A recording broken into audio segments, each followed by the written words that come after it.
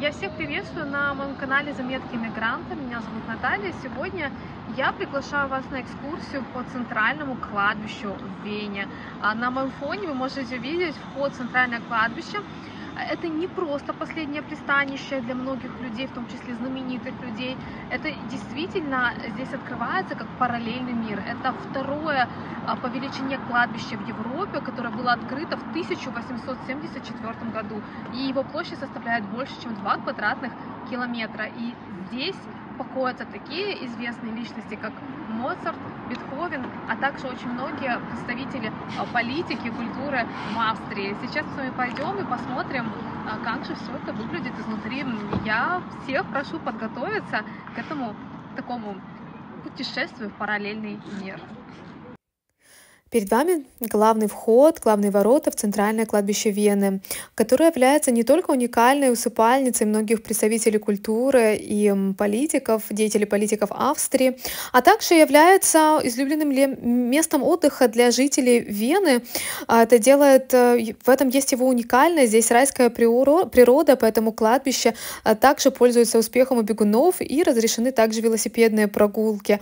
А также, если повезет, здесь можно встретить особых обитателей, и не стоит здесь пугаться призраков, если вы услышите шуршание, потому что здесь очень много а, диких косуль, хомяков, белок, барсуков и куниц, а также много других видов животных, а, которые населяют эту огромную территорию. Но сейчас вот мы с вами наблюдаем вот уникальные усыпальницы, магическое место Вены. А, посмотрите, только на эти семейные склепы.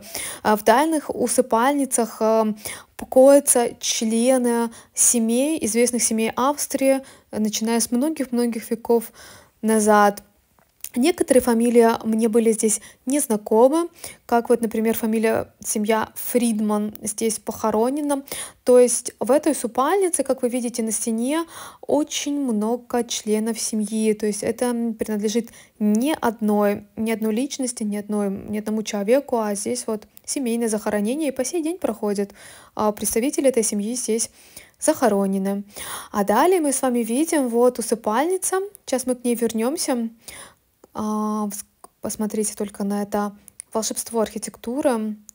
Ну, настоящее произведение искусства. А здесь вот усыпальница а, семьи фон Хаас. Это известный а, индустриальный магнат Вены.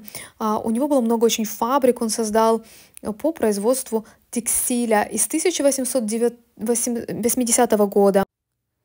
Далее вот вы видите на экране э, гробницы очень необычные, поражают э, своей архитектурной такой, ну, как бы работой, вот, как вы видите сейчас.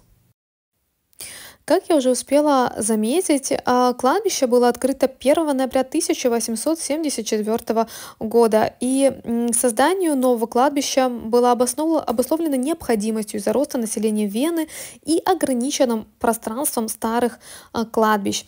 Кладбище находится в районе Семеринг на юго-востоке Вены. Оно занимает площадь около 2,5 квадратных километра, что его делает одним из крупнейших кладбищ в мире и вторым по размерам кладбищем и в Европе. А, он выполнен совершенно а, в разных архитектурных стилях. Например, главный ход оформлен в стиле историзма, а центральная церковь, которую мы видим чуть позже, является ярким примером венского модерна. А, важно заметить, что кладбище знаменито своими мемориальными зонами для различных конфессий – католической, протестантской, православной и иудейская. Здесь также есть мемориалы жертвам а, Второй а, мировой войны, а также а, жертвам Холокоста. Посмотрите только на эти мемориалы. Я могу сказать, что кладбище, оно вот атмосфера больше как атмосфера музея, памятника архитектуры, нежели атмосфера вот обычного кладбища.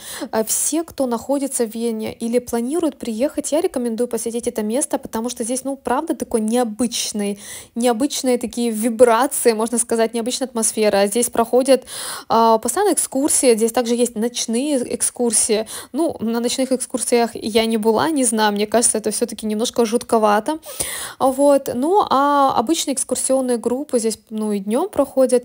А здесь вот перед вами склеп э, индустриального магната В центре кладбища, вот перед вами, находится кладбищенская церковь Святого Франциска, часть а также называемая мемориальной церковью доктора Карла Люгера. Рядом с церковью находятся аркады и клумбарии, перед которыми находится президентская усыпальница, вот на экране.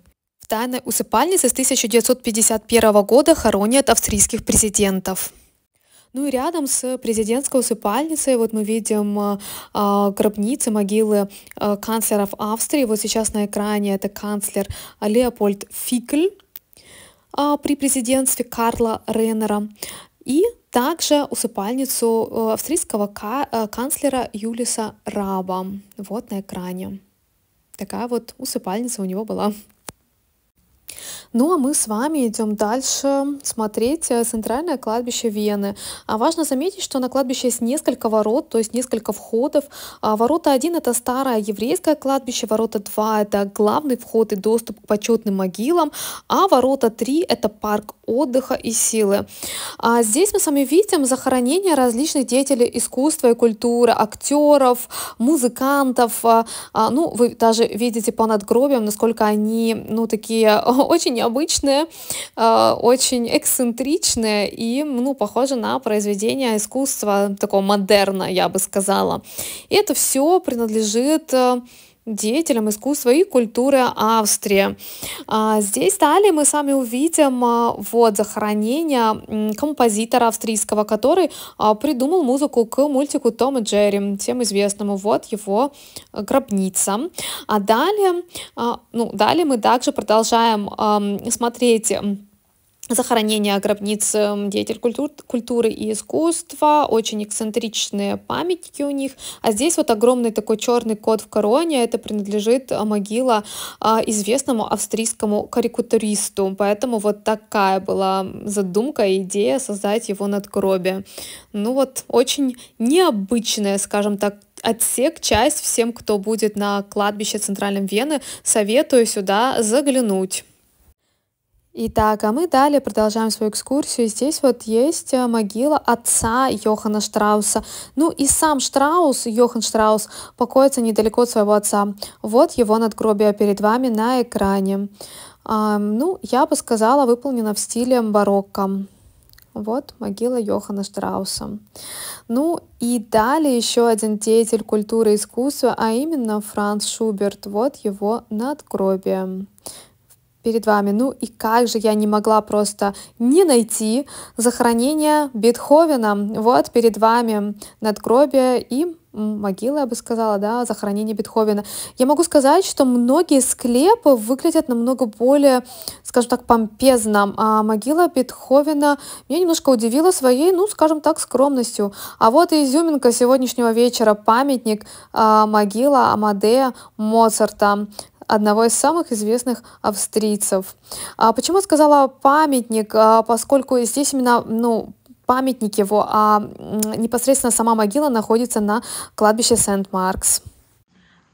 Итак, э, наша интерактивная экскурсия по центральному кладбищу Вены подходит к концу. Мы с вами видели всех знаменитостей, ну, скажем так, или почти всех. Э, как я уже сказала, центральное кладбище Вене, оно просто огромное. И здесь покоится огромное количество как политиков, так и представителей культуры, и, ну, обойти его просто невозможно. Но моя цель сегодня достигнута. Мы с вами посетили Моцарта, Бетховена, Штрауса и увидели, где они покоятся. Надеюсь, вам понравилась наша прогулка. Пишите свои комментарии и до скорых встреч. Всем пока!